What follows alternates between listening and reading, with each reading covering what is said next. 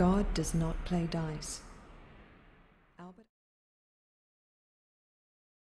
Imagine the entire contents of the planetary data links, the sum total of human knowledge, blasted into the planet mind's fragile neural network with the full power of every reactor on the planet. Thousands of years of civilization compressed into a single searing burst of revelation. That is our last ditch attempt to win humanity a reprieve from extinction at the hands of an awakening alien god.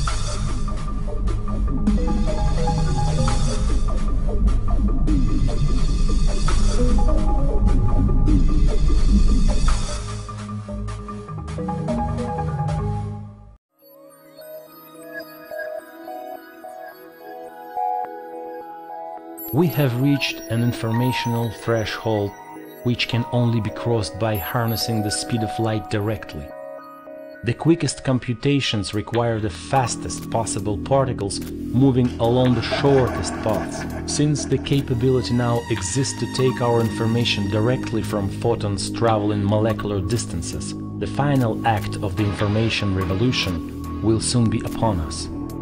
Academician Prokhor Zakharov, for I have tasted the fruit.